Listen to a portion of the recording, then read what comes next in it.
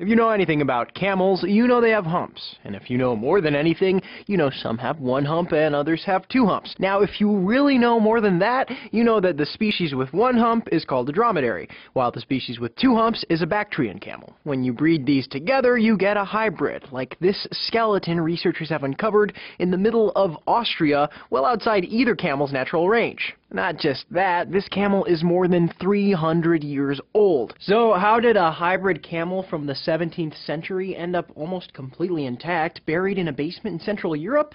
Basically, the Ottoman Empire. By the 17th century, the Ottoman Empire had been around for hundreds of years, and was nearing its greatest extent, with Ottoman troops fighting in Europe and even laying siege to Vienna in 1683. The researchers theorize the Ottomans brought the camel through the town of Tulln, near Vienna, where it stayed, possibly as an attraction until it died. The Ottomans used camels for mounted combat through the early 20th century, and the researchers say hybrid camels were especially strong and large. The paper, published in PLOS ONE, says this skeleton is the first confirmed evidence of this specific hybrid breed breed. Lost breeds are common among domesticated animals, especially horses. Many documented medieval breeds have since been lost through crossbreeding and mixing bloodlines. For Newsy, I'm Sebastian Martinez.